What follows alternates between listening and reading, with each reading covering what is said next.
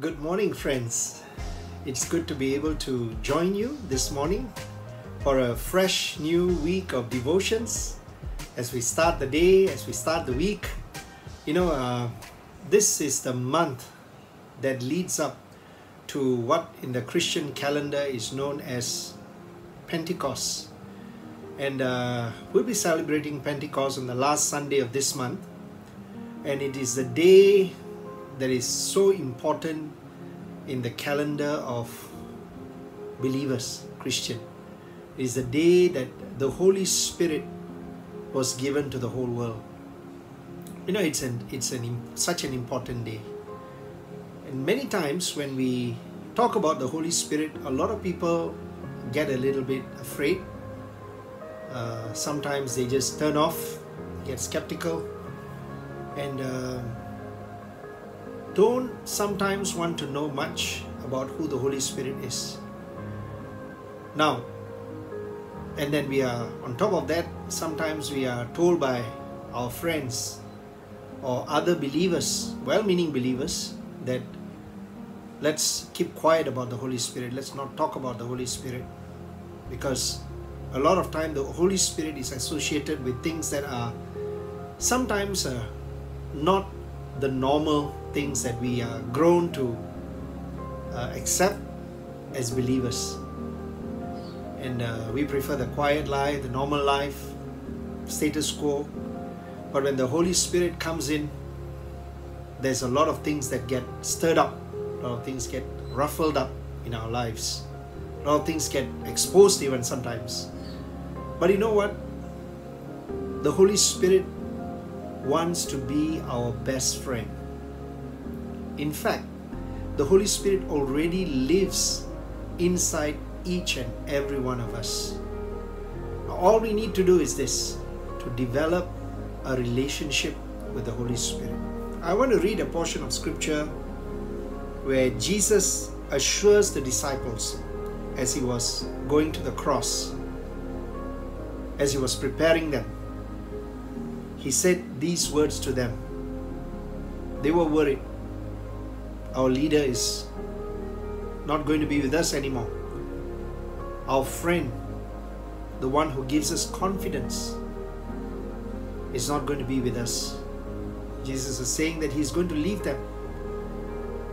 But here He gives them an assurance and says in John chapter 14, And I will pray the Father, and He will give you another helper, that He may abide with you forever. The Spirit of truth, whom the world cannot receive because it neither sees Him nor knows Him. But you know Him. I like those words. You know Him. I know Him, friends. For He dwells with you and will be in you. Now, one of the biggest areas of concern for many people in the world is loneliness. Now, we would have seen this during the time of the MCO and even before that, especially in uh, advanced nations. We hear of how old people are forgotten, left to live in their own apartments, and, sadly, sometimes are only found after they have left this world. And uh, loneliness affects everybody, especially in a society that we live in today, the progressive society. Everybody is busy, everybody has things to do. Sometimes, the more progressive the society is, the less we know people that are around us. One example is do you know your neighbors, people living around you? Life can get lonely. I was told in Singapore, even though we see thousands of people in the MRT, in the bus, there's any hardly anyone who cares or even has any concern with people around them. Everybody has put on their headphones, listening to music, listening to the news or songs, and we just lose connection with people. When the, you and I become believers, one of the things that we discover is God is a relational God. He loves to be in relationship with us.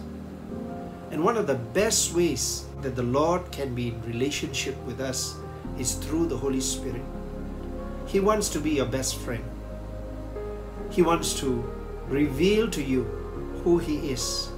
He wants you to come into close and intimate friendship with Him.